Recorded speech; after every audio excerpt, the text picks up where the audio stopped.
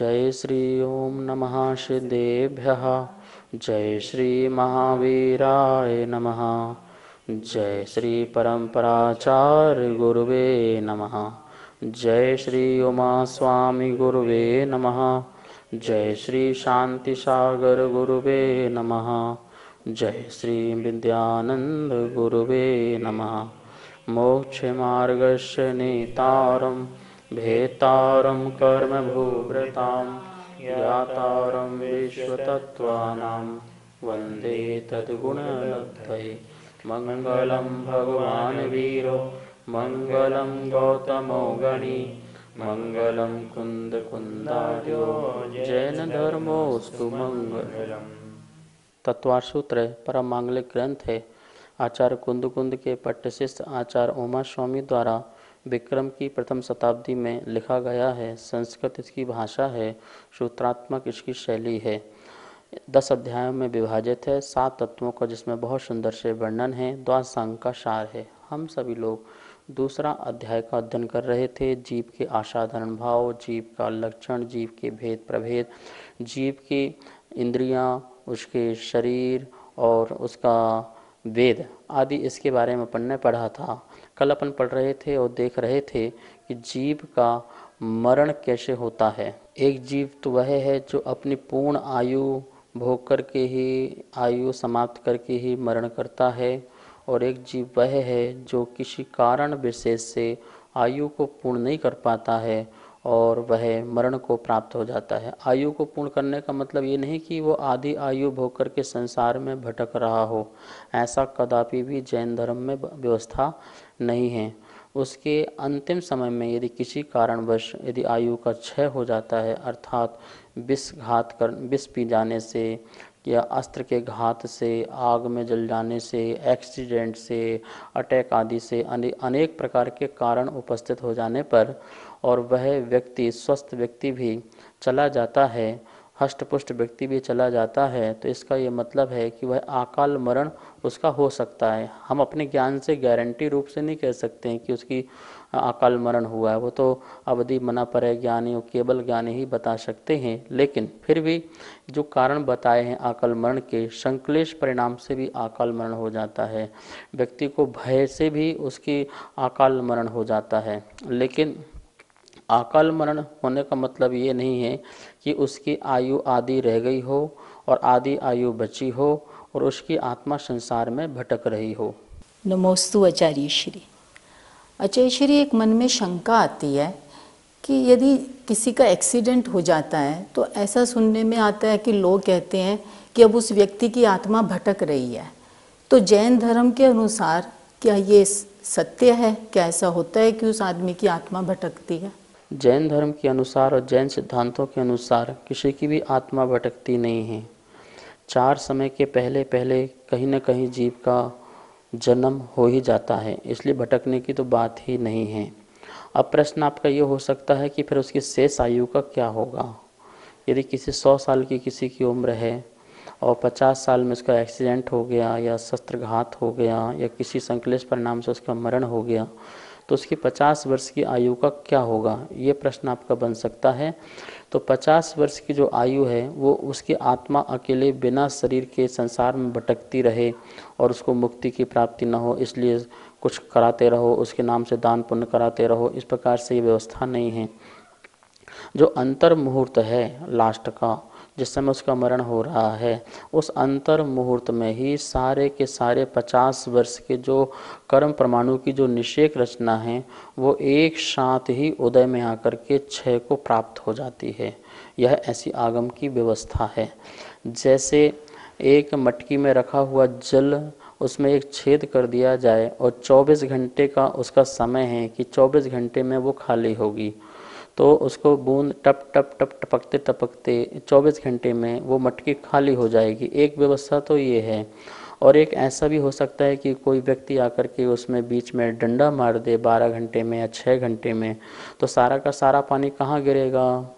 एक एक बूंद करके भी ज़मीन में ही गिर रहा था और एक बार डंडा मारने पर भी सारा का सारा पानी कहाँ गिरेगा? ज़मीन में ही गिरेगा। तो इसी प्रकार ये आयु की व्यवस्था है कि निरुप क्रम और सोप क्रम, दो प्रकार के क्रम हैं। निरूप क्रम में निषेक रचना जो बन गई है तो प्रति समय उस आयु का क्षय होते होते पूरा का पूरा वो आयु को भोगता है, वो निरूप क्रम आयु वाला कहलाता है। सौप क्रम मतलब क्या कहलाता है? समय से तो चल रहा है, लेकिन यदि बीच में किसी प्रकार की घटना इस प्रकार से हो जाती है तो समस्त जो अंतर मुहूर्त बचा हुआ है तो समस्त निषेक रचनाएँ जितने भी उनके आयु कर्म के परमाणु थे, वर्गणाएँ थी, वो अंतर मुहूर्त में छः उदय में आकर के छः को प्राप्त हो जाती है, और वह जीव दूसरी गति में जाकर के जन्म ले लेता है। इस प्रकार की यह व्यवस्था है। इससे यह निश्चित हो गया कि आत्मा तो एक भटकती नहीं है और शेष आयु जो है वो बचती नहीं है। उदय में आकर के उसी समय ही समस्त आयु क्षय हो जाती है और जब दूसरी आयु उसकी उदय हो जाती है, दूसरी गति के लिए यह आगम की व्यवस्था है। तो इस प्रकार से हम सभी लोगों ने कल देखा था किन किन जीवों का अकाल मरण नहीं होता है। और जो जीव देखे थे उनका अकाल मरण नहीं होता है। इसका मतलब इसके अलावा उन जीवों का अकाल मरण हो सकता है। एक बार अपन पुनः उस सूत्र को दे, देखते हैं तत्वार सूत्र के तिरपन नंबर के सूत्र में जिसमें किन जीवों का अकाल मरण नहीं होता है और वहाँ आचार्य भवन क्या बताना चाहते हैं इस सूत्र में? तो दूसरे अध्याय का तिरपन नंबर सूत्र है औपादिक चरमोत्तम देहा संख्या वर्षा युषो नपवर्त्यायुषा। इस सूत्र का उच्चारण है। औपाधिक जो उपार्जन वाले हैं, देव और नारकियों का कभी भी अकाल मरण नहीं होता है। उनकी जितनी भी आयु होती है, वो आयु को पूरी भोग कर ही उनका अगली पर्याय के लिए जन्म होता है। इसलिए उनका बीच में कोई अकाल मरण नहीं होता है। और वैसे भी उनका शरीर बैक्टीरिया की तरह पारे की तरह होता है। फैल भी जाए तो फिर पूरा का पूरा एक हो जाता है, जैसे नारकी में। एक नारकी दूसरे नारकी के जीव के टुकड़े टुकड़े कर देता है। तिल तिल टुकड़े कर दे, लेकिन वो पारे की तरह फिर से मिल जाता है, क्योंकि अकाल मरण नहीं है, ध्यान रखना। यदि नरक में गए तो दुख के काल पूरे भोगना पड़ेंगे। देव पर्याय में गए तो इंद्रिय संबंधी सुख के काल पूरे भोगना पड़ेंगे। तो इस प्रकार से, किसी भी प्रकार से वहाँ पर कर्म का उदय जो आ रहा है वो शाता असाता उसे उतने समय तक भोगना पड़ेगा, उसे कम ज़्यादा हम नहीं कर सकते हैं। ठीक है ना? उस पर्याय में। इसलिए वहाँ पर जो औपाधिक में बताया कि वहाँ देव और नारकियों का अकाल मरण नहीं हो सकता। सौधर्मिंद सोचे कि क्या बोलते कि मैं किसी को मार दूँ, किसी देव को मेरी आज्ञा में नहीं है तो वो मर नहीं सकता, क्योंकि उसका अकाल मरण हो ही नहीं सकता है। तो ऐसे देव और नारकियों का क्या नहीं होता है? अकाल मरण नहीं होता है। अर्थात समय से पहले उनका आयु का छय पूर्ण छय नहीं होता है। चरमोत्तम देहा। चरम उत्तम देहा। चरम मतलब अंतिम शरीर वाले और उत्तम देहा, उत्तम देह वाले, चरम देह और उत्तम देह। ऐसा दो भेद तो अकलंग देव ने किया है। बाकी आचार्य ने तो चरम उत्तम इसी को बोल दिया है कि अंतिम शरीर वाले का जो शरीर है, वो उत्तम शरीर उत्तम शरीर किसको बोला? परम औदारिक को बोल दिया। कि जो केवली भगवान हैं, उनका शरीर कैसा हो गया है? परम औदारिक हो गया। तो उसकी अपेक्षा से उनको उत्तम शरीर बोल दिया। ठीक है ना? ऐसे केवलियों का। और चरम मतलब जिनका इस शरीर का अंतिम शरीर है, इसके अलावा अब कोई और शरीर धारण नहीं करना पड़ेगा। उसको चरम बोल दिया। ऐसे देह वालों का भी क्या नहीं होता है? अकाल मरण नहीं होता है। तो तिरसठ सलाह का जो पुरुष हैं, उनमें देखिए, आप जितने तीर्थंकर हैं, उनका कोई अकाल मरण नहीं हो सकता है। अब ये उत्तम देह में आप ये व्यवस्था बना के रखिए कि जो, जैसे चक्रवर्ती हैं, चक्रवर्तियों का भी उत्तम शरीर होता है, लेकिन जो चक्रवर्ती मोक्ष चले गए, उनका तो अकाल मरण नहीं हो रहा है, लेकिन जो सोहम चक्रवर्ती है, ब्रह्मदत्त चक्रवर्ती है, अर्ध चक्रवर्ती है उनका भी क्या बोलते हैं, बीच में अकाल मरण दिखता है और शास्त्र में पढ़ने को मिलता भी है। पर हम यहाँ पर उत्तम शरीर से क्या लगाएँ? उत्तम शरीर से हम परम औदारिक शरीर लगाएँगे तो हमारी बात अच्छे से घटित हो जाएगी कि परम औदारिक वाले जो सामान्य केवली भी हैं, उनका भी कोई अकाल मरण नहीं होता है।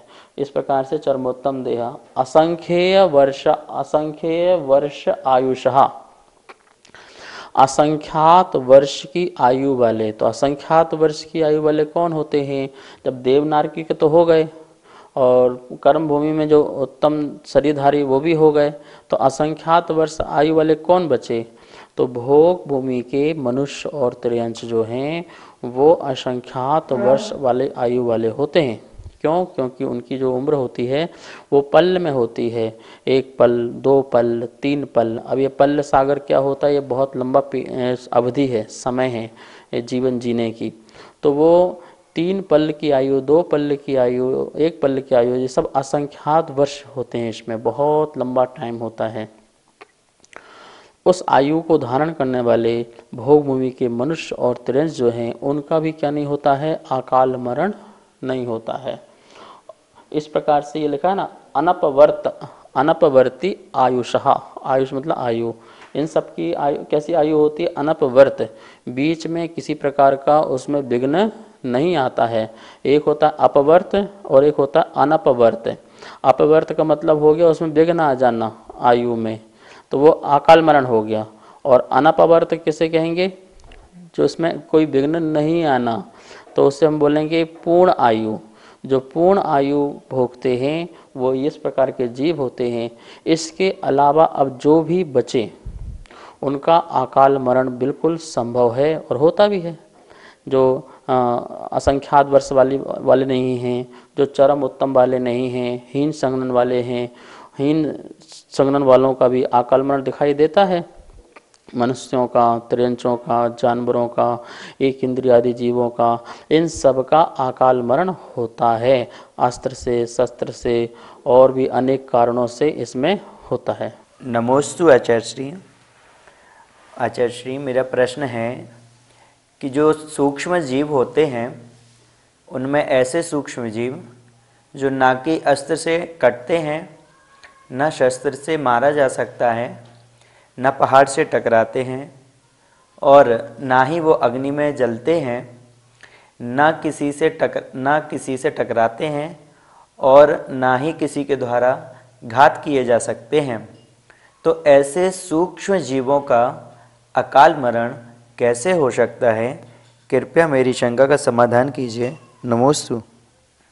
आचार्य नैमिचंद स्वामी ने अपने जीवकांड और धवला आदि में अनेक प्रसंगों में यह बात उठाई है कि अकाल मरण के अनेक कारण होते हैं। सिर्फ़ अस्त्र, शस्त्र और अग्नि आदि से अकाल मरण होता है, ऐसा नहीं है।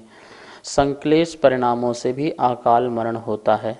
तो यदि हम उस जीव के प्रचुर मात्रा में संक्लेश परिणाम, आप सोचिए कि जो एक जीव एक श्वास में अठारह बार जन्म मरण कर रहा होगा, सूक्ष्म निगोदिया जीव तो उसके अंदर कितने संक्लेश परिणाम हो रहे होंगे। तो उस संक्लेश की प्रचुरता के कारण उसका भी वहाँ पर अकाल मरण होना संभव है। अपने भी मनुष्य पर्याय में भी संकलित परिणाम से आदमी मर जाता है। लेकिन जो सूक्ष्म निगोदियों की जो आपने बात करी है, जो कहीं किसी को न रोकता है, न किसी से रोकता है, तीन लोक में कहीं भी जा, आ सकता है, वो जो जीव है, उसके भी संकलेश परिणामों के कारण उसका अकाल मरण देखा जाता है। तो इस प्रसंग में हमें ये जानना है कि किसी व्यक्ति, जीव का जो मनुष्य और त्रियंश हैं, जिनका अकाल मरण होना संभव है, जिनका शास्त्रों में अकाल मरण संभव बताया है, उनकी जिससे कारण से भी यह मरण होता है, आयु का क्षय होता है, उस समय जो आयु कर्म के जो निषेक हैं, वो उदीर्णा उनकी हो जाती है। उदीर्णा हो जाती है मतलब अंतर मुहूर्त में ही समस्त कर्मों की उदीर्णा मतलब पके हुए, नहीं पके हुए कर्मों को भी पका करके देना, इसका नाम उदीर्णा है। उदीर्णा कैसे कहते हैं? जो नहीं पके हुए कर्म हैं, उनको भी पका देना, उसका नाम उदीर्णा है। जो कर्म अभी बाद में आते, आयु कर्म के, उनको पहले ला करके और उदय में ला करके निकाल देना, इसका नाम उदीर्णा है।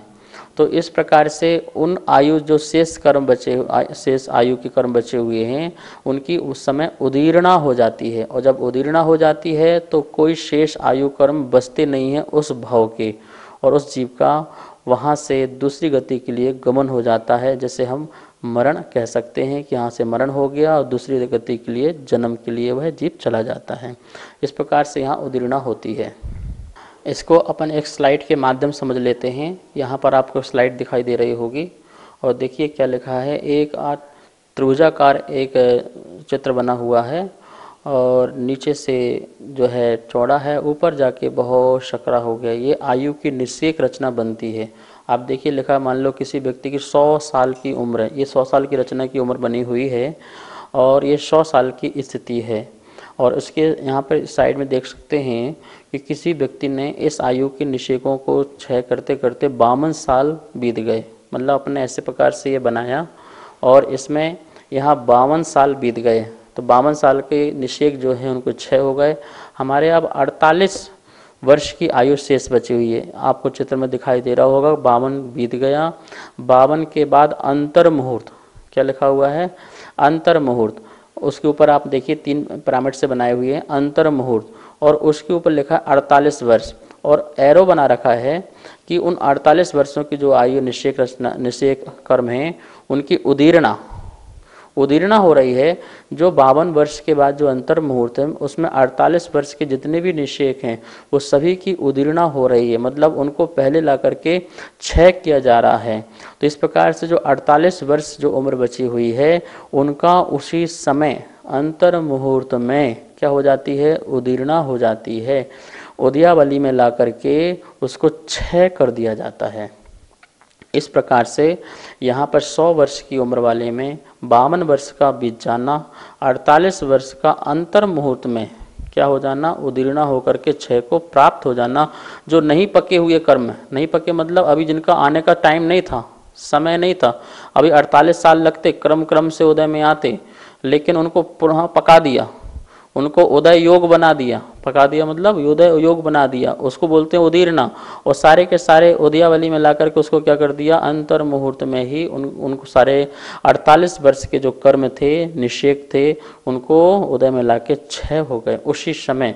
तो इसको बोलते हैं उदीरना तो इस प्रकार से अकाल मरण में ऐसी व्यवस्था होती है, कोई भी हमारा आयु कर्म शेष नहीं बचता है, समस्त क्षय हो जाता है, और नई आयु का उदय होकर के वह जीव दूसरी गति में जन्म ले लेता है। यह व्यवस्था सैद्धांतिक है ऐसा ही हमें स्वीकार करना है। नमोस्तु गुरुदेव। गुरुदेव यहाँ एक शंका आती है मन में कि जो आयु हम भोग रहे हैं क्या वो बढ़ भी सकती है? और यदि बढ़ सकती है तो उसको बढ़ाने का क्या उपाय है? वर्तमान की आयु का बंध पूर्व भाव में ही हो जाता है। और जो पूर्व भाव में हो गया है उसे हम बढ़ा नहीं सकते हैं। क्योंकि पूर्व भाव में जितने भी वर्ष की आयु का बंद हो जाता है, वर्तमान में सिर्फ़ हम उसे भोग सकते हैं, पर बढ़ा नहीं सकते हैं। और ना ही कोई ऐसे काम हैं कि जिससे हम बढ़ा सकें। कभी भी आयु को, आठ कर्मों में आयु कर्म को छोड़ करके समस्त सात कर्मों को बढ़ाया और घटाया जा सकता है। लेकिन आयु कर्म एक ऐसा कर्म है जिसको पूर्व में बंधा हुआ है, वो उतना ही रह सकता है तो रह सकता है। हाँ ये मात्र हो सकता, घट तो सकता है। और घटने के मैंने आपको कारण बता दिए, और किसका घटेगा ये भी बता दिया। हर किसी का नहीं घटेगा, जैसे देवनारकियों का, चरमोत्तम देह वालों का असंख्यात वर्ष की आयु वालों का, इनका तो कभी घट ही नहीं सकता है। लेकिन जो सामान्य अंश हैं, उनका किसी कारणवश अनेक कारण हो सकते हैं, उनमें उनकी आयु घट सकती है। घटने का मतलब है, वह आयु जो सौ वर्ष की है, वह घट कर के पचास हो जाए घट कर के पच्चीस हो जाए तो ऐसा तो घट सकती है, क्योंकि उसमें हमारा, उसको अकाल मरण के श्रेणी में आ जाएगा। लेकिन बढ़ाने का कोई भी उपाय नहीं है। हाँ आप ये कर सकते हैं कि जो आपको आयु मिली हुई है, आप उसमें ऐसा कार्य करें जिससे आपकी आयु कम से कम बढ़े ना तो घटे भी तो ना। अर्थात बहुत सावधानी रखिए, क्योंकि ये मनुष्य पर्याय मिला हुआ है। इसमें संयम का पालन करना है। जब हम आचार्य विद्यानंद महाराज गुरु जी के पास रहते थे तो वो बोलते थे, ईरिया समिति का पालन करो अच्छे से।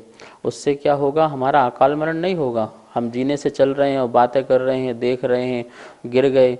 तो उससे हमारे अकाल मरण हो जाएगा, हमारा संयम का ह्रास हो जाएगा। तो ये पाँच समितियाँ जो हैं, वो क्यों हैं? सावधानी बरतना। सावधानी बरतेंगे तो हमारा ये संयम बचा रहेगा। वरना ये शरीर गया तो संयम भी चला जाएगा। तो उसके लिए जितनी सावधानियाँ हैं, आप गाड़ियाँ चलाते हैं सावधानी पूर्वक चलाइए, ठीक है ना? अग्नि से खिलवाड़ मत कीजिए, अस्त्र शस्त्र को अपने घर में मत रखिए, ना उसको खरीदिए। क्योंकि उनसे भी हमारी हानि हो सकती है, हमारी या दूसरों की। तो इस प्रकार से जितनी सावधानियाँ आप बरतेंगे, आपका आयु कर्म कम से कम बढ़ेगा नहीं तो घटेगा भी नहीं, अर्थात अकाल मरण के कोई चांस नहीं मिलेंगे। और फिर यदि किस्मत में भाग्य में कुछ लिखा होगा तो वो बात एक अलग है। लेकिन सावधानी रखें ये, क्योंकि हमें ये अनमोल जीवन मिला है मनुष्य पर्याय का, जिसमें हम रत्नत्रय प्रकट कर सकते हैं। जिसमें हम बाह्य रत्नत्रय और अंतंग रत्नत्रय, आत्मा के जो गुण आदि हैं, उसको शुद्ध कर सकते हैं। और बाह्य जो चारित्र है, उसके निमित्त से हम बाह्य संयम भी पालन आदि कर सकते हैं। तो इस प्रकार से वर्तमान की जो आयु है पूर्व भाव में बंधी हुई है हम उसे बढ़ा नहीं सकते हैं किसी भी कारण से भी नहीं बढ़ा सकते हैं। पूर्व भाव में जो आयु बनती है वो किस प्रकार से बनती है इस बात का भी ध्यान रखेंगे। हमारी जो आयु है, है जितनी भी आयु है दो भाग आयु को छोड़कर के तीसरे भाग में आयु कर्म बनता है। जैसे किसी की इक्यासी वर्ष की आयु है तो सत्ताईस इक्यासी तो सत्ताईस दूनी चौवन तो चौवन वर्ष का जो आदमी हो जाएगा, उस समय उसके आयु बनने के कारण मिलेंगे। उस समय उसके जो भाव होंगे, उससे आयु बनता है। लेकिन यदि बहुत तीव्र परिणाम और बहुत मंद परिणाम रहते हैं लिश्याओं के तो उस समय उसका आयु का बंद नहीं होता है, मध्यम परिणामों बंद होता है। तो फिर उसके जो 27 साल बचे हैं, उसके फिर तीन भाग करेंगे। तो 27 में नौ तिया सत्ताईस, नौ दोनी अठारह अठारह वर्ष और निकाल देंगे। और शेष जो बचेगा उसमें फिर अंतर्मुहूर्त बाद आयु कर्म का कारण मिलेगा। और उसमें भी यदि हमारे जो भाव रहेंगे, उसके अनुसार आयु बनता है। यदि ऐसा भी नहीं हो पाया तो इस प्रकार से ऐसा आठ बार हो सकता है। कितने बार हो सकता है? जो शेष नौ साल बचे हैं, अब उसके भी तीन भाग कीजिए, ऐसे करते जाइए। तो इसमें इस प्रकार से आठ बार में आयु कर्म का बंध बन सकता है। और अंतिम जो अंतर मुहूर्त है, यदि उसमें भी आयु, लास्ट के जो अंतर मुहूर्त हैं, तब तक भी आयु नहीं बंधी है तो अंतम, अंतिम मुहूर्त में आयु का बंध तो हो ही जाता है। ये व्यवस्था है, ध्यान रखना। इसलिए कहते हैं ना, अंत भला तो सब भला। यदि बाई चांस हमारे आठ चांस में भी आयु नहीं बंधे हैं तो अंतर मुहूर्त जो बचे हैं, कम से कम हम उसमें तो अपना धर्म ध्यान करें, उसमें तो सदगति करें, उसमें तो रत्नातर धर्म आदि का पालन करें।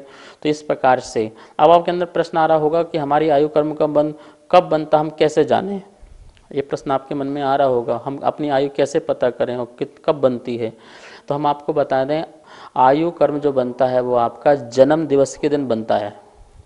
हैप्पी बर्थडे के दिन बनता है। जब आपका जन्म तो जन्म आपका कब हुआ? जब आप जिस गति से चलना प्रारंभ हुए, तभी आपका वहाँ से जन्म हुआ। है तो आप वहाँ से आप पता करेंगे कि आपका आयु कर्म कितना, कितने साल बीत गए आपके। क्योंकि आप त्रिभाग कैसे निकालेंगे? अपने उसी सूत्र निकालेंगे कि जब आपका जन्म जो स्थान से हुआ था वहीं से त्रिभाग निकालेंगे। इसका ये मतलब हो गया आपके जन्म दिवस के दिन आयु कर्म का बंद बनता है। इसलिए सावधान रहें। उस दिन डांस ड्रिंक ड्रामा ना करें। धर्म ध्यान करें। सा, साहित्य पढ़ें। तीर्थ यात्रा करें। मुनियों को आहार दान आदि दें। धर्म धर्म ध्यान करें। क्योंकि आपका दुर्गति ना हो आपकी गति खोटी ना बंधे इस बात का ध्यान रखते हुए हमें सावधान रहना चाहिए। इसका ये मतलब नहीं कि सिर्फ़ एक दिन सावधान रहना है हमेशा सावधान रहिए। आपका जीवन उज्जवल बने। इस प्रकार से आज की क्लास यहाँ संपन्न करते हैं। अब हम सब लोग जनवाणी स्तुति करेंगे। जहवाणी के ज्ञान से सूजे लोग कालो सोवाणी मस्तक धरो सदा देत हो दो हे जिनवाणी भारती तो हे जपो दिन रेन जो तेरा शरणा धरे सो पावे सुख चैन। सभी को बहुत बहुत मंगल आशीर्वाद। नमोस्तु गुरुदेव। जय जिनेन। जैसा कि आप सभी यहाँ पर देख रहे हैं आचार्य श्री के द्वारा जैन पाठशाला में तत्वा सूत्र का सरलीकरण करके चित्रों और स्लाइडों के माध्यम से जो अध्ययन कराया जा रहा है उसी अध्ययन का यहाँ पर चित्रों, स्लाइडों के माध्यम के साथ में यह पुस्तक यहाँ पर प्रिंट होकर के प्रथम अध्याय की पुस्तक हमारे पास में आ चुकी है। जो भी महानुभाव इस पुस्तक को मंगवाना चाहते हैं, नीचे दिए गए नंबर पर आप संपर्क कर सकते हैं। एवं यदि कोई महानुभाव अगले अध्याय, द्वितीय, तृतीय आदि अध्यायों की यदि पुस्तक छपवाना चाहते हैं, उनके भाव बन रहे हैं तो भी नीचे दिए गए नंबरों पर संपर्क कर सकते हैं।